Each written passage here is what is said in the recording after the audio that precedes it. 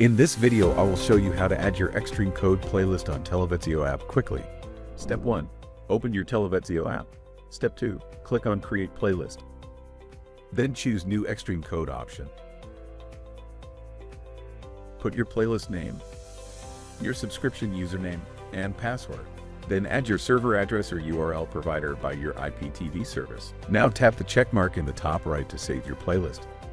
If you don't have your playlist yet, please visit our website and contact us. Our support team will send you a free trial immediately. Once your list is loaded, live TV, movies, and series categories be appear.